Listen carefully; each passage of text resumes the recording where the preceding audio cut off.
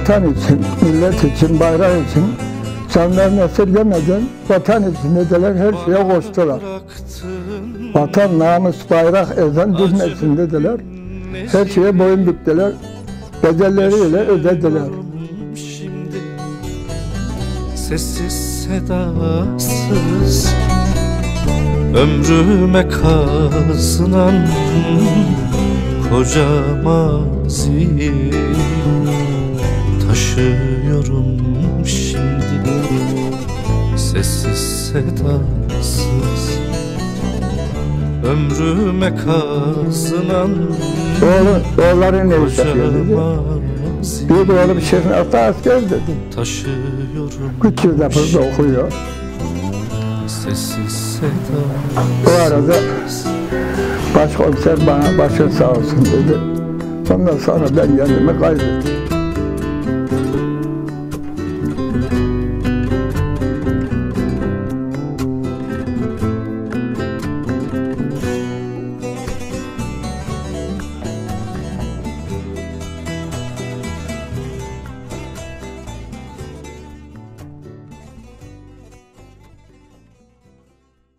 Ben Muzaffer Keskin, Şehit Berat Keskin'in babasıyım.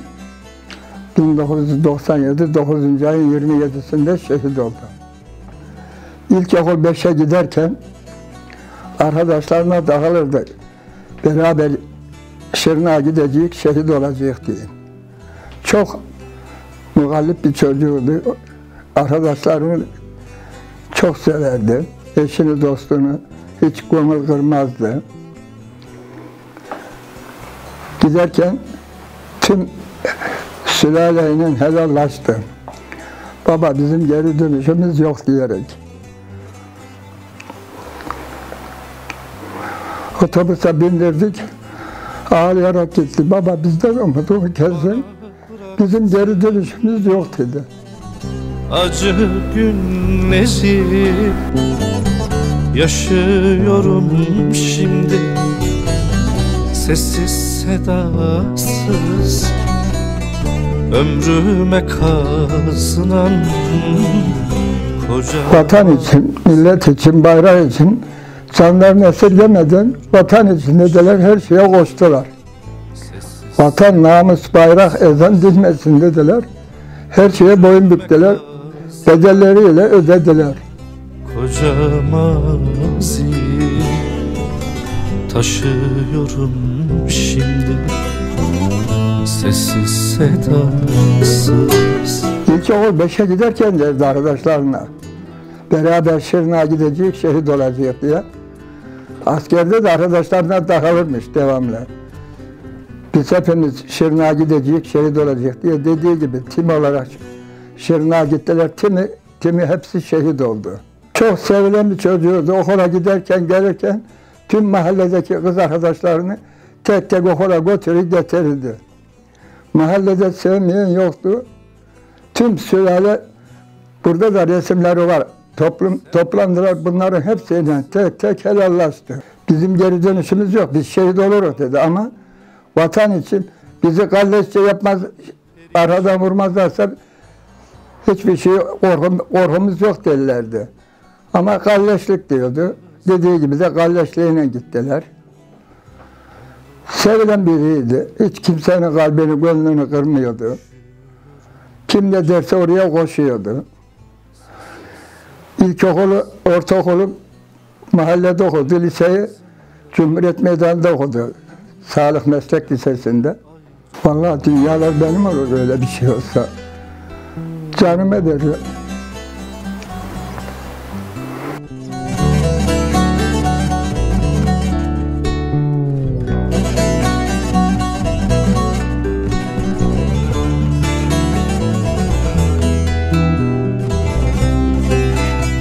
Tüpçüde çalışıyordu. Birader de elinde yoğurdu.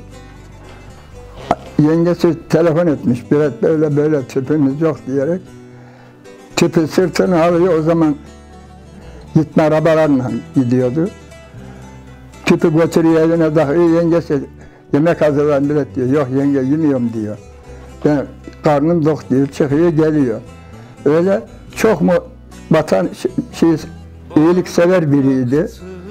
Hiç kimseye gözünde şu var demezdi yani. Konuşkanıydı. Mahallede bu sevilen biriydi. Arkadaşlarıyla uyum sağladı. Vallahi vatan için her şeye boyun eğdik. Annesi ne derse onu yapardı. Annesini kucaklar sırtına alırdı. Anne seni gezdireyim gel derdi. Her yerde annesine çok hürmetliydi. Bana da öyleydi. Baba derdi. Ben varken size karada ölüm yok derdi ama nasıl takdir ilahi ömür oraya kadarmış. Yine de vatan sağ olsun. Vatan olmayanın millet olmuyor, millet olmayanın vatan olmuyor. Vatan olmayanları görüyor. Her biri bir dağda. Ama yine de vatanım, milletim adına oğlumdan gurur duyuyorum. Şehit babası olarak. Ne mutlu şehit babası olmak.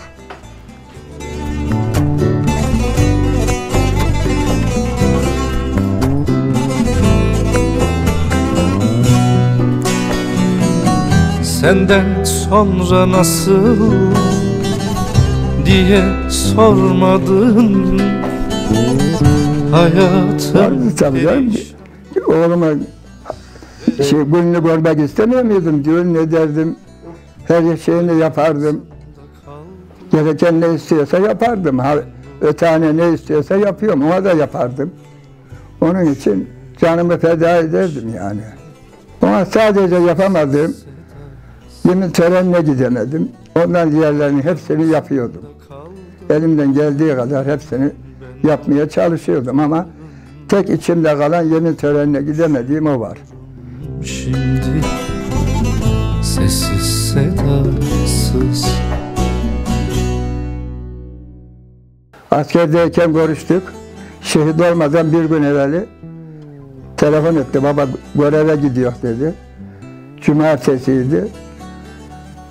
Saat 9-10 gibi görüştük. Saat sabah 4'te şehit olmuş. Annesiyle burada bekmez kaynatıyorduk. Bize bir telefon geldi. İki polis, bir karakol komutanı geldiler. Biz de kapının önünde bekmez yapıyorduk. Biraz Keskin'in babası mısın? Babasıyım dedim. Bu annesi seni dedi, şa- e, şahitlik için karakola götürecek dedi.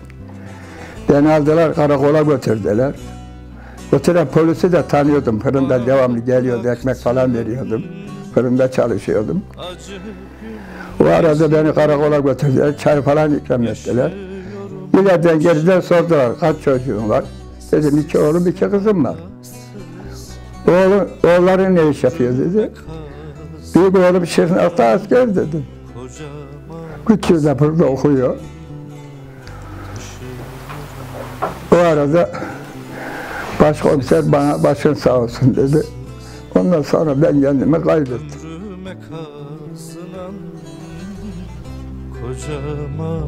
zil Taşıyorum şimdi sessiz sedasız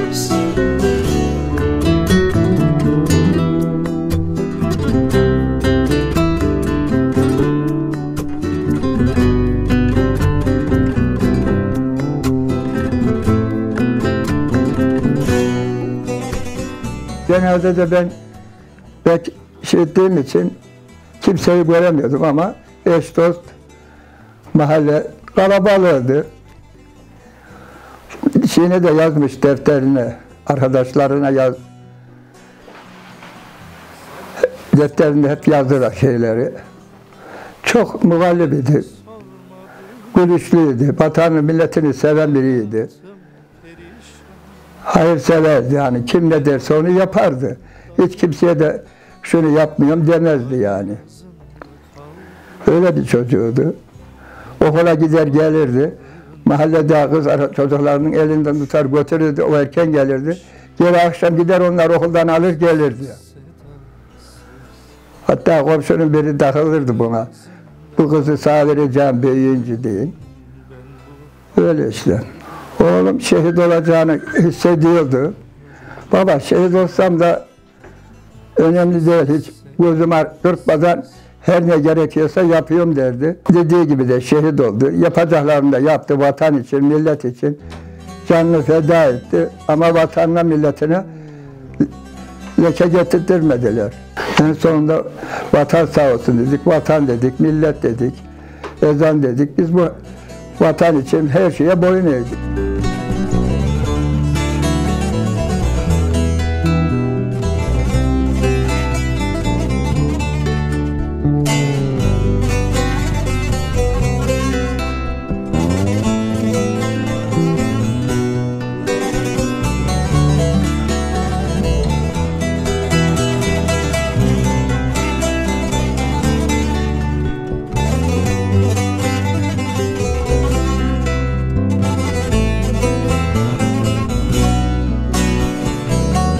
Bana bıraktın.